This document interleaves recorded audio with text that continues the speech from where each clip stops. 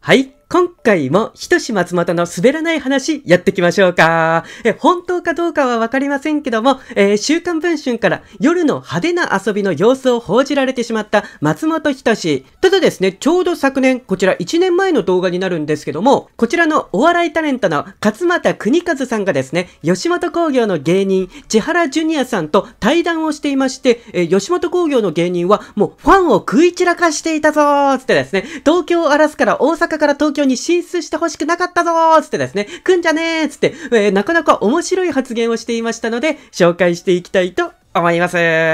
吉本の芸人どれだけ遊んでいたんでしょうか？え、勝俣さん曰くですね、やっぱりどういう先輩とつるむかによって遊び方が全然違うぞと。中でもですね、吉本に関してはもういいイメージを持っていなかったようで、例えば勝俣さんは金ちゃんでおなじみの萩本さんと仲が良かったそうなんですけども、まあお金を払っていくような、そんなお店すら NG だったと。まあきちんとお付き合いをすればいいですけども、遊びはもう全般全部ダメだったと。えー、そのようにげいていました。これはですね、まあ極端な例だと思いますけども、東京くんなーっていう風にですね、言いたくなるぐらい、吉本の芸人はもう遊び方がひどかったぞというようなですね、そんなお話をされていました。まあでも思い返してみるとですね、確かに吉本の芸人って、そういうなんか夜遊んでることによるトラブルっていうのが非常に多いですよね。宮迫の闇営業の時もですね、夜、夜の食事会でのお話でしたよね。そこにはロンドンブーツのりょうさんもいたようですけども、二人揃ってですね、闇営業問題でトラブルになってってますし、それから極楽とんぼの山本さんもそうですよね。夜そういうはっちゃけすぎてちょっと問題になったわけですよね。だからちょっとやっぱり吉本の芸人全般ですね、夜の遊び方がやっぱよろしくなかったんじゃないかというようなですね、えー、勝俣さん相当文句を言われていました。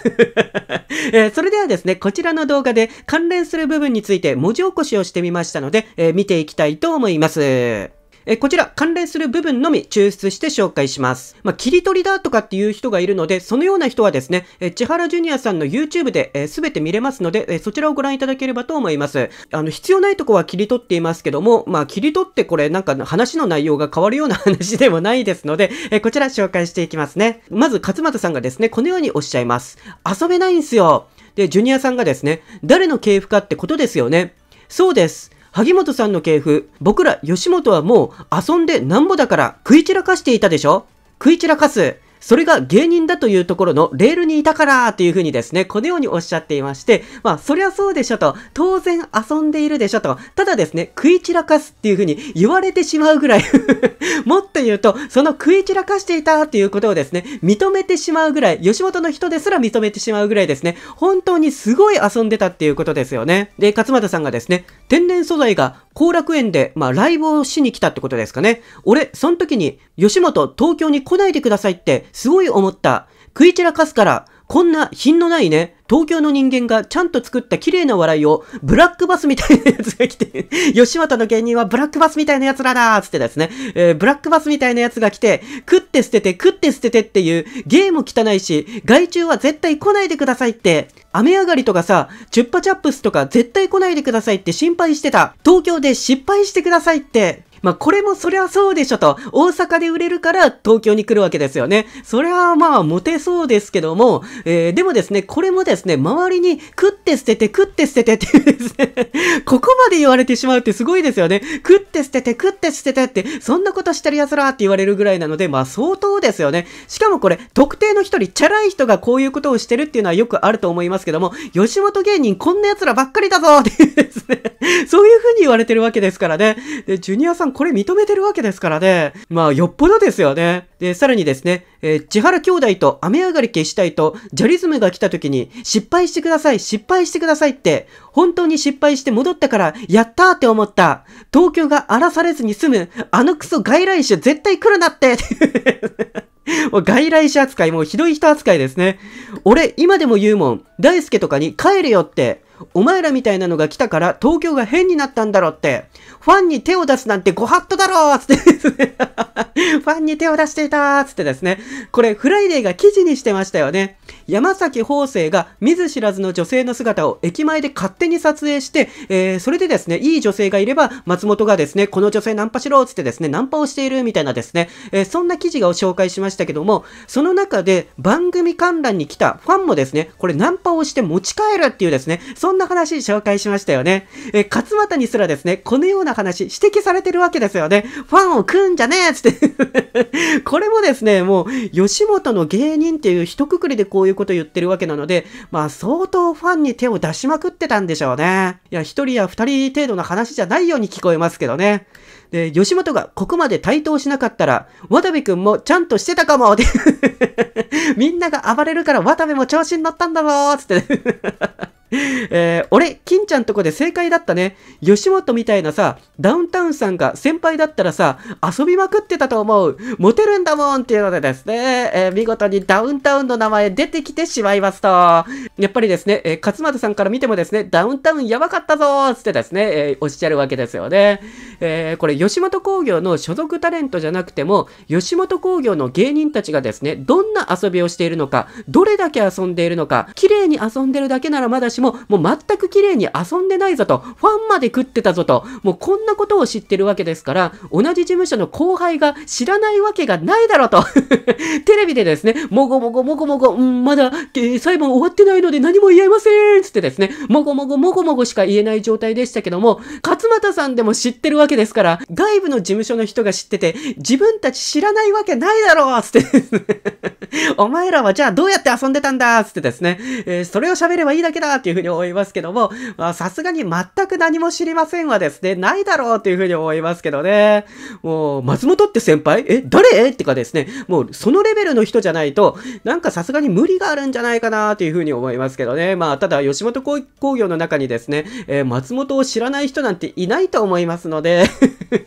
この話を知らないなんてですね、いやー、ないと思いますけどね、自分たちが普段どういう遊びをしているのかっていうのをですね、紹介すればいいだけの気がするんですけどね。で、これでですね、もう勝俣さんはですね、そんな吉本興業を見て、もう迷惑だったという風にですね、愚痴っていましたね。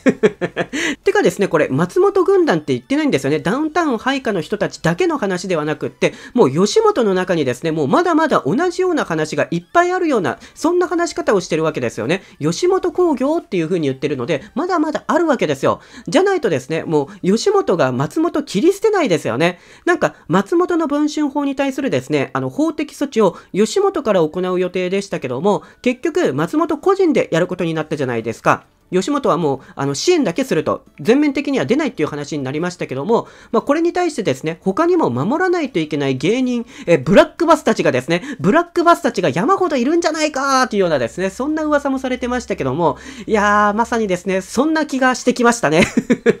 まだ生きのいいブラックバスたちがですね、え、事務所の中に、ボボボボボーってですね、えー、飛び跳ねていますので、もうそんな人たちをもう守らないといけないっていうのでですね、もう必死なんでしょうね。いやー、でも勝俣さんがこれだけ遊んで、これだけ食いあさって、もうファンまで食っててって知ってるぐらいですね。もうそれぐらい遊んでいたので、いやー、どの女性のことなのかなどんなことをしたっけな全く覚えてないなーっていうふうに そうなってる可能性も、まあ、なくはないでしょうね。えー、8年前なんて言われたらですね、まあ余計に覚えていないかもしれませんけど、いやー、でも LINE は残ってたんだよな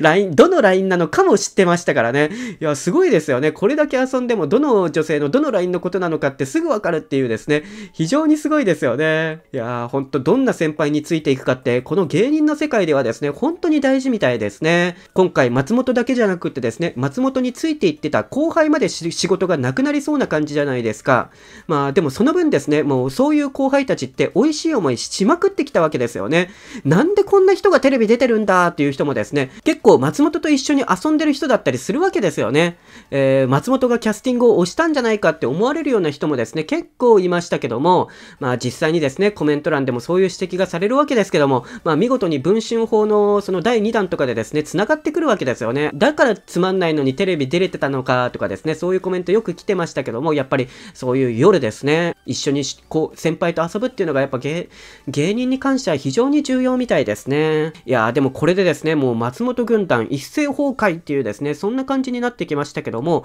どんどんですね、これ過去自分たち遊んでたって言ってるじゃないかって ですね、さすがにもう飲み会は存在しないっていうのはですね、もう無理があるような気がしますけども、まあ最初はですね、吉本全否定だったじゃないですか。もうその全否定っていうのはですね、さすがにもう無理があるようなですね、そんな状況になってきましたよね。時間が経てば経つほど、どんどん掘り起こされる吉本興業、それから松本人志というですね、えー、そんなお話になってなってますというところですね。はーい。今回の動画、1分ぐらいにですね、切り抜いた動画をこちら X の方にアップロードしておきますので、気になる方ですね、もう一度実際の動画見たい方はですね、こちらの動画をご覧いただければと思います。えー、皆さんですね、今回、勝俣さんがですね、えー、吉本工業の芸人の遊び方、汚すぎるぞーつってですね、食い荒らすんじゃねーつってですね、えー、過去に起こっていたというようなですね、そんな動画が掘り起こされてしまいましたけども、皆さんですね、このような吉本工業、松本人志についてですね、どのようなご意見をお持ちでしょうか？皆さんのご意見についてもですね、ぜひコメント欄でコメントいただけると嬉しいです。えー、それからですね、今後もこういった興味深いニュースがあればですね、どんどんお話ししていきたいと思いますので、ぜひですね、チャンネル登録の方もお願いします。えー、それからこちら X もやっています。動画にできないようなちょっとした小ネタなんかをこちらの X の方でつぶやいておりますので、動画をご覧になった後ですね、こちらのフォローの方もお願いします。はい、今回の動画はここまでになります。それではまた。次の動画で